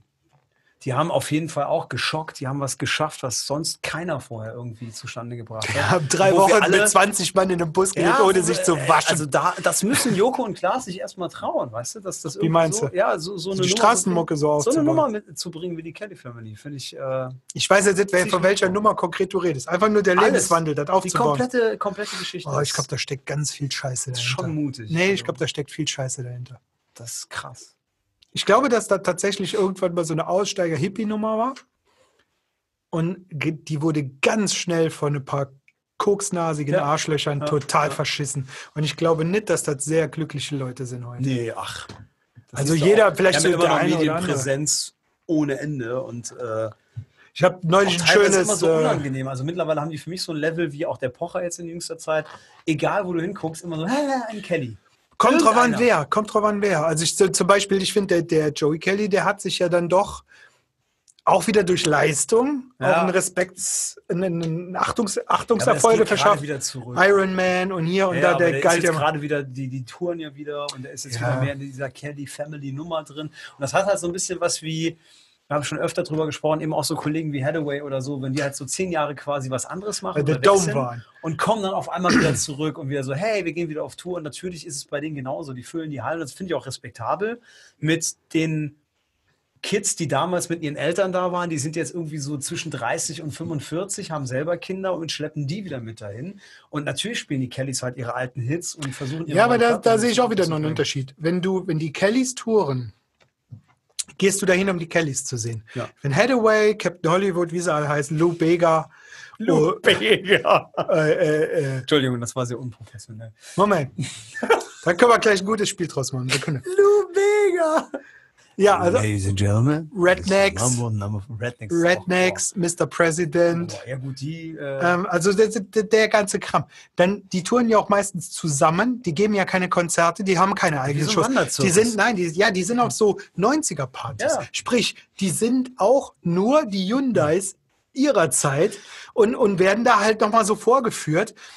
Und, und es geht aber gar auch nicht um abends- die als Person. Die stehen auch abends zusammen an der Bar und feiern so, wie wenn man heute als Band auf Kreuzfahrt ist oder so und versuchen, äh, also leben in so einer Blase und versuchen wahrscheinlich die ganze Zeit so zu, äh, zu tun, als wäre immer noch äh, 1995 oder Weiß ich nicht. 96. Ich glaube, die sind schon relativ realistisch, aber äh, also bis auf die, die halt. Also Mr. President nicht. Die habe ich Backstage gesehen, das war definitiv nicht realistisch. Oh, jetzt wasch mal hier Dreckwäsche, erzähl. Also ich habe noch nie so einen großen Haufen Koks auf einem Tablett gesehen, sagen wir es mal so. Und das hatten die wohl echt nötig. Die kamen rein, total abgefuckt, dann haben die sich da in mein, für mein sehr junges Empfinden, Coco Jumbo. aber sowas von die Nase gepudert. Ich habe äh, vor allem, ich habe zum ersten Mal in meinem Leben eine schwarze Person sehen, das werde ich auch nie vergessen. Ähm, Wegen der weißen Oberlippe danach. Nee, die Nasenlöcher. Also der, so, ja. die, die hatten so ein Tab, äh, so, so, also wir kamen Ja. Backstage, wir waren natürlich vorher da, haben auch früher gespielt und irgendwann kam so ein Typ rein und er brachte einen Spiegel mit mit so einem Goldrand und legte den auf den Tisch. Ich dachte so, ja, keine Ahnung, Spiegel halt. Da Ne? wird jetzt drauf gebumst. Und dann kam ein anderer Typ mit ungelogen einem Beutel Koks, ich würde mal schätzen, ein Kilo mindestens. Knallt diesen Beutel, ich habe das ja noch nie gesehen, ich war da 17 oder so, weißt du? Knallt diesen Beutel auf den Spiegel, er holt wirklich wie in so einem schlechten Film so ein, so ein Springmesser raus, so, fupp, schneidet den Beutel komplett auf, zieht den so auf links, dass die ganze Scheiße auf dem Spiegel ist, nimmt den Beutel und ohne uns zu beachten, geht einfach wieder. Und wir saßen dann da, vier Mann, mit dem Spiegel und dem Beutel Koks, der jetzt entleert war, saßen halt da und dachten so, was ist hier gerade passiert? Und dann kam Mr. President, diese zwei Tussen und der Typ. Und der Typ, ungelogen, die kamen rein, äh, Kühlschrank, holen sich einen Drink, ne? Hi, hi, hi, yeah, setzen sich, gucken so ein bisschen, du hast so das Gefühl gehabt, die brauchten so ein paar Minuten, damit die ganze Situation so normal, so, gerade so, so normal ist, dass man sich so das, Musste zittern unterm Tisch und unterdrücken. wir haben uns jetzt kennengelernt. Wir haben Hi gesagt, ihr wisst, wer wir sind, wir wissen, wer ihr seid, wir sind jetzt lang genug zusammen, jetzt können wir koksen. Und dann hat der Typ für mein Empfinden wirklich seinen kompletten Schädel in diesen Berg gehauen und tief eingeatmet. Und dann kam der Kopf hoch und alles war halt hier so weiß. Und ich dachte so, wow, Du siehst aus wie ein Twan. wo bin ich hier? Ja, total kaputt halt, ne?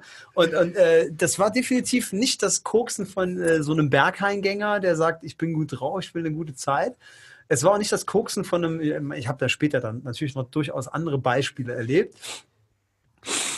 Ähm, und äh, die, also die, die Party-Kokser, die halt einfach sagen, ich brauche das, um auf die Bühne zu gehen und so richtig drauf zu sein, waren das auch nicht, sondern es war schon so dieses, so jetzt bin ich wach. Jetzt kann ich anfangen zu saufen Jetzt- und mich langsam wieder Now we're talking. Ja? So richtig krank. Also das äh, war definitiv so, ein- so ein Beispiel dafür, wo ich glaube, die wollen entweder aushalten oder es ist schon so ein bisschen, das haben wir schon immer gemacht und äh, das gehört so dazu.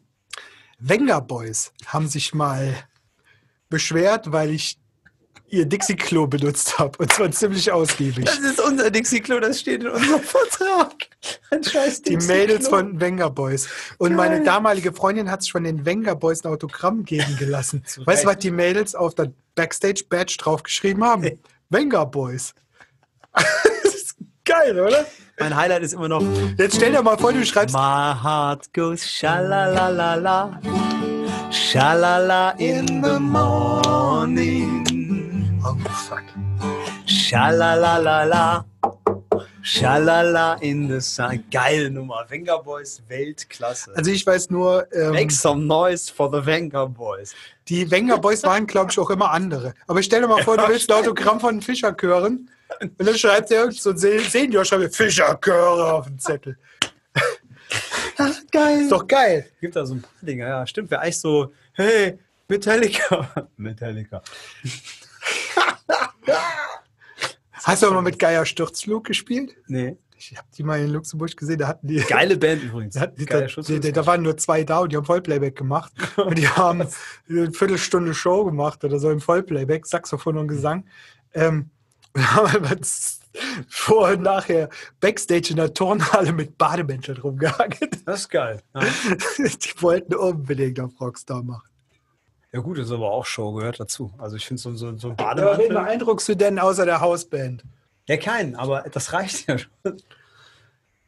bei, bei vielen dieser Künstler, weißt du, ich glaube, ähm, man sagt ja immer so im Coaching oder so, oder wenn du Leute triffst, die dir gute Tipps geben wollen, die irgendwas gerissen haben oder so, und du bist am Anfang, dann sagen alle, think big. Und ich glaube, irgendwann kommt so der Punkt, wo vielleicht dieses Think Big zu was geführt hat, zum Beispiel einem Hit. Und dann kommt aber nicht der zweite Hit und dann merkst du langsam, wie du abstürzt und irgendwann kommt dieses Ding, Think Small. Und du fängst wieder so, hey, wir spielen heute Abend in der Turnhalle in Ischgl. Ja, wenn aber nicht die Tonhalle, Ischgl sondern ist. so eine Mini-Tonhalle. Ja, und dann ja. sagen die, aber wir, wir, wir werden im Bademantel auftreten, um so richtig auf dicke Hose zu machen. Ich meine, ich bin, ich bin das beste Beispiel dafür. Die haben Ich hab Backstage mein im Bademantel rumgehangen, ja, verstehst du? äh, klar, um einfach nur zu zeigen. Aber ich meine, selbst, äh, ich habe mein Auto bedrucken lassen mit meinem Logo, ist die gleiche Nummer. Doch, die Argumentation ist, gelegentlich fahre ich, weil ich ja auch im Karnevalsgeschäft bin, irgendwo vor, so, so diese Nummer, oh, die haben es eilig, die haben hier eine extra Parking Lane, dann kommt die Technik, kommt Ja, ja, auf. ja. So, natürlich habe ich gesagt, ich muss das Auto beschriften, weil sie denken einfach nur, da kommt ein schmutziger Berlingo, was will der hier, hat der sich verfahren? Oh, super. So eine Story hatten wir auch mal, da- dass du vor allem, genau, wenn du so eine Lane hast, bei so großen Stadtfesten. Ja, ja, ne? genau, hast du es ja auch. Da hatten wir, hatten wir in, mit einer Coverband hatten wir einen Konvoi, wollten in die Stadt rennen, die war natürlich vor der örtlichen Feuerwehr ordentlich abgesperrt. Genau. War die nehmen ihren Saarland? Job sehr, sehr ernst. War im Saarland, nee, war auch alles gut, aber die hatten halt keinen Plan. ja.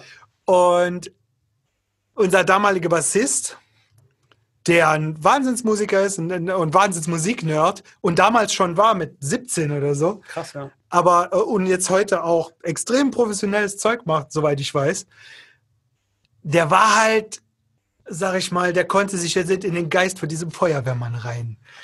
Schön formuliert. So, ähm, jetzt hast du folgende Situation. Stadtfest, Feuerwehrmann mit Schnurrbart und Funkgerät. Und du fährst vor mit drei Autos hintereinander und kein Mensch weiß, warum die jetzt da durch die Leute an diese Bühne müssen. Jetzt Die Situation kennt man ja. Total geil. Ich gucke Ganz die. Scheibe runter. Ich war im zweiten Auto. Ich wusste schon, da geht nicht gut, weil der ging an die Beifahrerscheibe vom ersten Auto, wo unser Youngster halt eben saß. Ja. Ne? Lieber Typ, alles, aber halt auch nicht so der, ich sage jetzt mal kein tougher Auftreter, der jetzt so einen Feuerwehrmann klärt. Und ich hörte den nur sagen, ja hallo, wir bringen Equipment. Dachte ich, hm, wenn das mal gut geht. Dann holt der Typ sein Walkie-Talkie raus und sagt, die Equipment ist da. ja, ja, alles klar. Gut, weiter. Haben wir uns reingelassen. Ist ja noch lustiger. Die hat- Equipment das hat ist da. aus Versehen funktioniert. Das ist genauso wie der Typ von uns mal äh, äh, Denksi Denksi hören wo, wollte und wir wussten, er meint Nee. The Time of My Life aus Dirty Dancing. Nee, das ist eigentlich stille Post. ja, Der, der Youngster sagt was, der Feuerwehrmann versteht das Wort Equipment nicht, sagt durchs Walkie-Talkie mit dem die Equipment ist da. Und der Typ hat nur verstanden, die Band ist da und hat dann gesagt, alles klar. Ja. Ist eigentlich geil. Und das bei so einem Stadtfest, wo du heute wahrscheinlich äh, Ja, mit wobei. einem kleinen Laster nimmer so in die Fußgängerzone Ja, darfst. Auto, Auto nicht, aber früher war meine Erfahrung oft, wenn irgendwo was abgesperrt war oder so, ich bin eine Zeit lang immer mit einem Gitarren-Kickback oder einem Koffer zu, zu, zu äh, Konzerten gefahren. Wie der Typ aus der Mentos-Werbung. Hast du so ein Keyword auf die Schulter, damit du gratis reinkamst. Nee, aber die gleiche Nummer halt. Du hast einfach eine leere Gitarre dabei oder im Zweifel eine alte Klampe drin oder Ja. so. Und das habe ich ein paar Mal gebracht und bin echt kostenlos reingegangen. Ich habe immer gesagt, ja, ich äh, gehöre zur Band. Und im Zweifel habe ich immer gesagt, weil ich habe immer kleinere Brötchen gebacken. Vorgruppe. Äh, nee, ich gehöre zur Band. Ich äh, bin der, der äh, also Gitar-Tech oder irgendwas in die Richtung. Ich muss noch eine Gitarre bringen. Der Gitarrist hat angerufen, er braucht noch eine Ersatzgitarre. Und dann bist du immer ohne Probleme reingekommen. Keith Richards braucht eine Gitarre. Der hat mich angerufen. Das ist eine äh, Warm-up-Gitarre. Die braucht der Backstage. Da guckst der von der Rückseite drüber runter. ist die Koksklampe, die braucht der. Koksklampe. Ist auch geil. So, heute fliegen sie ganz schön tief bei uns. Ja, finde ich aber gut. Ist irgendwie auch eine schöne Stimmung und äh, ja, ähm, auch thematisch mal so ein bisschen quer. Aber wir wollen natürlich auch interaktiv bleiben. Äh, Würde ich jetzt mal kurz einwerfen an der Stelle. Was kommt denn jetzt? nein, wir haben ja völlig versäumt, äh, ich wollte den Redefluss auch nicht unterbrechen und so. Wir haben ja völlig versäumt, äh, A, unsere Gäste anzurufen. Äh, also ähm, wir müssen auf jeden Fall gleich noch Günther Jauch anrufen und gucken, ob der rangeht. Ähm, B, die äh, nächste Geschichte wäre, liebe, liebe Leute, liebe Zuhörer, wir haben natürlich wieder jede Menge neue Gefällt mir, jede Menge Abonnenten auf Facebook. Riesen Dankeschön dafür. Und ein Riesen-Hallo an Martin und Manuel, unsere beiden einzigen Twitter-Follower. Hi, ihr beiden, aber damit Hi. natürlich auch wieder der Hint. Äh, liebe Leute, Facebook läuft gut. Wir haben noch andere Social Media Plattformen. Da könnte es noch den einen oder anderen geben, der da vielleicht Bock hat, sich äh, dazu zu gesellen. Wir freuen uns natürlich auch sehr gerne vor dem Jahreswechsel noch über ein paar mehr Follower. Wir aber Telegram machen? Soll man eine Telegram-Gruppe? die ist wahrscheinlich schneller voll. Überlegen wir mal, ob wir das zum neuen Jahr machen. Aber auf jeden Fall, ähm, schreibt uns doch auch sehr, sehr gerne. Wir haben ja schon letztes Mal aufgerufen, das wurde auch schon einigermaßen rege angenommen. Da ist aber noch Luft nach oben. Schickt uns gerne Ideen für 2021. Was wünscht ihr euch? Wir bieten ja hier schon gerade eine kleine Möglichkeit an, die wir immer mal wieder zwischendurch machen können, uns live zu treffen. Ich denke, was wir nächstes Jahr auf jeden Fall machen können, ist, dass öfter mal einer von uns beiden auch via Zoom zur Klampfe greift und man vielleicht mal irgendwas verdeutlicht oder so. Gleichzeitig Ähm, spielen ist da halt immer schwierig. ist halt- ist halt Danke, schade. Deutsche Telekom. Genau, wir, wir arbeiten an diesem Problem. Aber wenn ihr sonst so Ideen habt, äh, thematisch, irgendwas in die Richtung, es äh, darf auch gerne fernab von der Musik sein, was ihr äh, von uns wünscht, Rubriken, die wir noch einführen können, gerne her damit. Genauso natürlich. Sagt äh, uns auch einfach mal, worüber wir uns aufregen können. sowas halt. Ne? So, So- pass so, auf, äh, erzähl du mal weiter. Ja. Ich suche mal mein Handy wegen dem Günther. Ja, klar. Äh, genauso könnt ihr natürlich sehr, sehr gerne schreiben auf allen Kanälen oder kommentieren, was ihr so Silvester vorhabt, ähm, was eure Wünsche für nächstes Jahr drumherum sind. Äh, wir brauchen auch Inspiration, auch für uns selber, was wir vielleicht Silvester ohne Böller, ohne Knallerei machen können. Welche Musik ihr hört, um irgendwie das Feuerwerk äh, zu simulieren. Das ist ja auch eine, eine äh, gern genommene Idee. Oder ob ihr das Feuerwerk selber mit dem Mund macht, äh, kann ja auch sein. Ja, also so- Was? Ach so, das meinst du. Oder ein Feuerwerk der guten Laune. Kommt bestimmt im ZDF oder ARD mit Florian Silbereisen. Traumschiff und so. Ja, ähm, wie sieht's denn aus? Können wir Günther anrufen zwischenzeitlich? Also schreibt uns, ne? Wir, wir freuen uns. Es klingelt.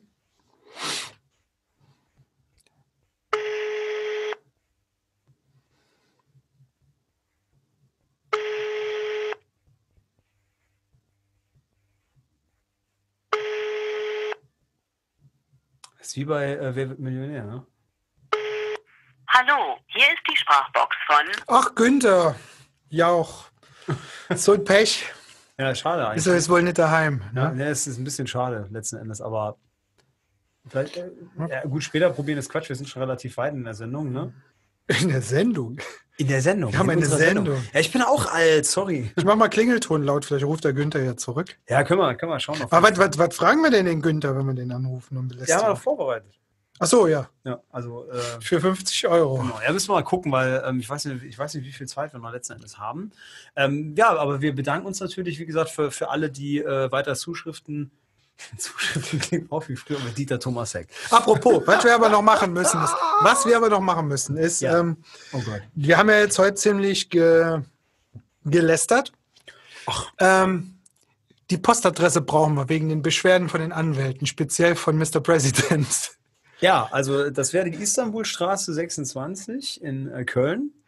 Gerne alles dahin adressieren. Alles klar, und immer schön schubkarrenweise, ne? So, also, äh, ja, habe ich meinen mein Shitstorm-Postfach.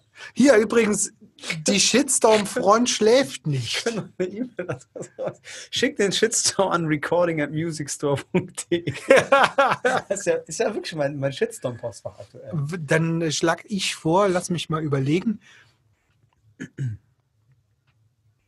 Nee, komm, die sollen uns erst anrufen, wenn die uns verklagen wollen. Ja, ich denke auch. ne? Ja, ja, ja. Also DSGVO-mäßig war das so alles cool. Äh, alle Adressen, die hier veröffentlicht worden sind, sind eh in der Öffentlichkeit. Insofern alles entspannt. So. Und wir haben nur Bandnamen genannt, aber keine Namen von Künstlern, Nee, die auch, äh, gekokst haben oder. Nee, ich weiß auch gar nicht, wie der Schwarz. Entschuldigung. Ähm, Der was? Du meinst den, den, den Herrn in der wie Band? sagt man denn jetzt? Der Einwanderer. Person of Color. Person of Color. Ja. Aha. Ich meinte das jetzt komplett ironiefrei. Nee, ich erzähle ihn jetzt nicht. Nee, komm. Sollen wir jetzt noch anfangen, jetzt? schwarzen Witze Nein, hör auf. Nein, das Nein. wollen wir ja auch gar nicht. Nein. Wir sind ein seriöser sind auch lieb. Podcast, natürlich. Wir sind auch lieb. Wir sind dann, äh, definitiv sehr, sehr lieb und sehr, sehr nett. man sollte des Öfteren mal übereinander lästern und schimpfen. Das erspart sehr viel schlimmeren Ärger. Deshalb lassen wir das hier raus. Nehmt euch das doch mal als Weisheit für äh, 2021. Und ja, ähm, Ja, wir haben eigentlich noch definitiv zwei Sachen auf der Liste für die heutige Folge. Sollte Günther nicht noch zurückrufen. ja, Ähm, die eine Sache ist ähm, Songauswahl für die Playlist. Die zweite Sache, in Oh. jedem Fall, wir wollen es natürlich so ein bisschen feierlich beenden. Das Jahr 2020 feierlich Dosenbier. beerdigen mit Dosenbier. Euch äh, ein bisschen was äh, natürlich wünschen und so, aber ich würde sagen, wir gehen wahrscheinlich erst zu den Songs über. Das, das wäre oh Mann, jetzt erwisst du mich eiskalt, weil ich habe mir überhaupt keinen ausgedacht. Ey, Aber ich kann. äh, im Lockdown, Musiker, nichts zu tun den ganzen Tag und dann kommt er hier ohne Songs an. Das ja, ich hasse Musik.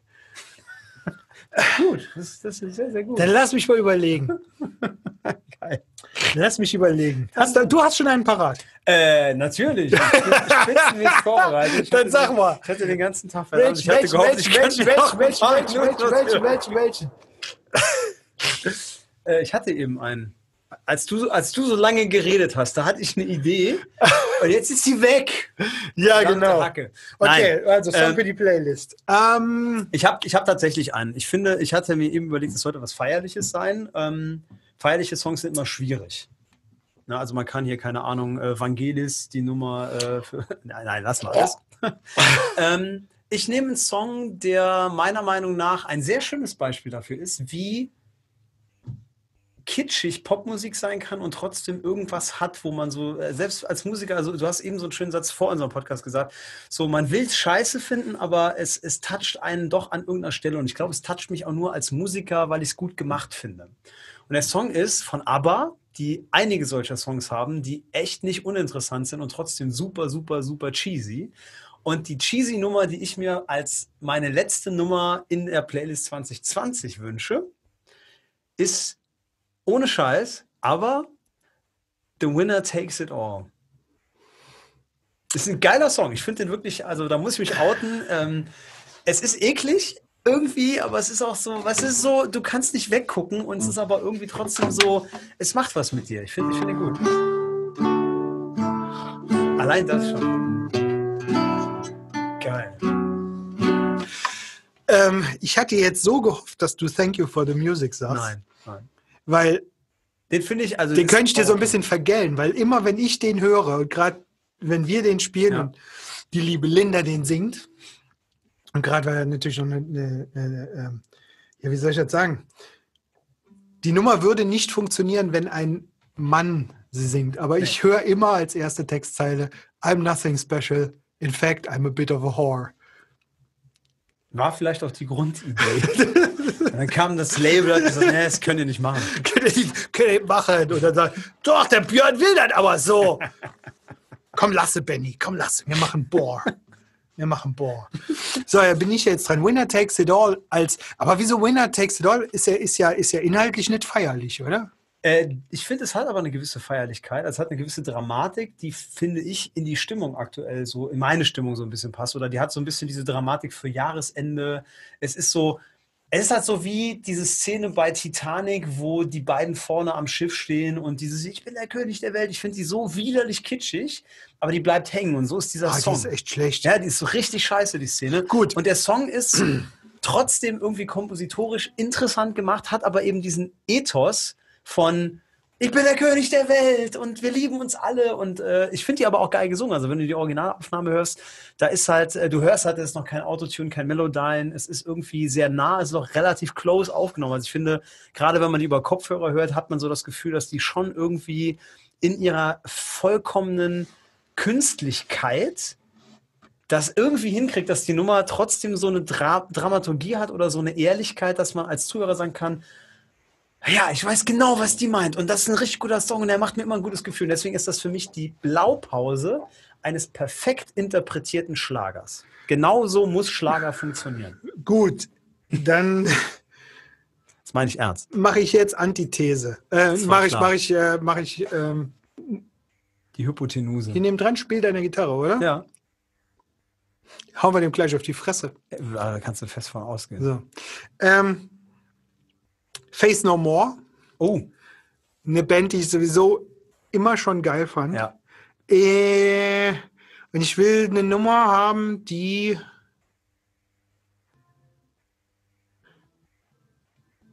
asozial sein und Oh, der Typ nervt mich total. Ne? halt die Fresse! Die asozial sein und, und, und die, ähm, die quasi jedes positive Gefühl mit Füßen tritt und Face No More schafft nicht immer wieder dazu, Kunstform zu erheben. Deshalb wähle ich The Gentle Art of Making Enemies. Mit meiner Lieblingstextzeile Don't you look so surprised, happy birthday, fucker. Ewig nicht gehört. Super Nummer. Ah, No super Album. ja. Super Album. Ja. Sehr, sehr geile Band in jedem Fall. Ja, absolut. Ja, was haben wir noch? Kommt gleich was Gutes im Fernsehen, oder? Ja, Ja, wenn, wenn Günther nicht anruft, Günther ruft dann zurück. Warte mal, ich versuche mal nochmal. müssen wir sonst langsam hier zum Schluss kommen. Moment. Ihr habt ja auch sicher noch was zu tun, ihr Schäfchen, ne? Warte mal. Warte mal. Bis der die Nummer gewählt hat, ey. Ja, vielleicht ist es Günther im Weinberg. Wo? Günther ist, ist, ist analog, ne? Ja, wir zeichnen die Folge hier um 8 Uhr morgens auf.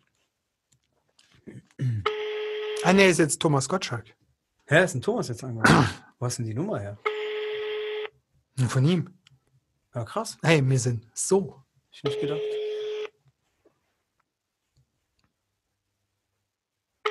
Dass der mit den Hyundais spricht. Aber, aber gut, finde ich gut. Find ich Noch spricht er nicht mit ihm.